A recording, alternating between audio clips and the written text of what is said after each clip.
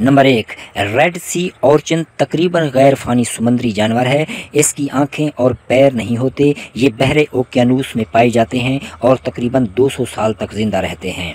Number दो, कोई fish दुनिया की सबसे कीमती पालतू मछली के तौर पर भी जानी जाती है। इस मछली की कीमत कई मिलियंस डॉलर में होती है। कोई फ़िश की अमूमी उम्र 25 से 30 साल शुमार की जाती है, मगर कुछ ऐसी कोई फ़िश भी मिली हैं जिनकी उम्र 200 साल है। जापान की मशहूर कोई फ़िश, जिसका नाम हनाको था, जो कि उन्नीस में फौत हुई थी, इस कोई फ़िश की उम्र 226 साल थी। नंबर तीन लॉन्ग फिंट ईल आहिस्ता आहिस्ता ग्रो करती है। ये ज़्यादातर न्यूजीलैंड और ऑस्ट्रेलिया में पाई जाती है। इनकी औसतन उम्र 60 साल के करीब होती है, मगर कुछ ऐसी लॉन्ग फिंट ईल भी मिली हैं, जिनकी उम्र 106 साल थी। नंबर चार, मौका एक नायाब तोते की किस्म है, जिसकी उम्र 60 से 80 साल होती है। इस तोते की ब्रीडिंग की उम्र 30 से 35 साल है। गैर कानूनी पेट ट्रेड की वजह से इस तोते की नस्ल नापैद होने के करीब पहुँच चुकी है। नंबर पाँच, अफ्रीकन हाथियों की औसत उम्र सत्तर साल होती है। एक जिम्बाब्वियन तहकीक से यह भी पता चला है कि फ़ीमेल अफ्रीकन हाथी मरते दम तक हमला होने की सलाहियत रखती है।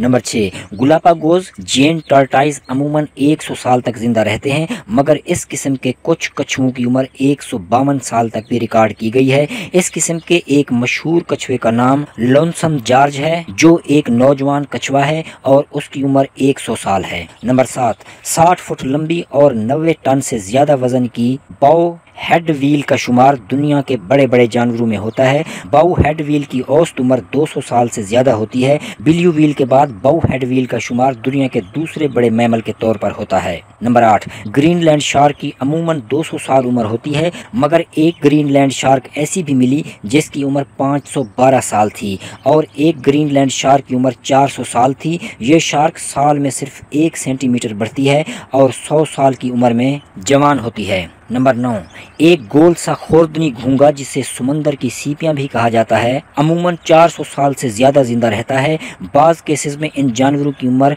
507 साल भी रिकॉर्ड की गई है। नंबर 10 लाफानी जेलीफिश, जिसे इमोर्टल जेलीफिश भी कहा जाता है, को सिर्फ़ इसी सूरत में मौत वाक़ होती है जब कोई उसे खा लेता है। इस जेलीफिश के अगर टुकड़े टुकड़े भी कर दिए जाएँ तो हर टुकड़े से एक नई जेलीफिश बन जाती है।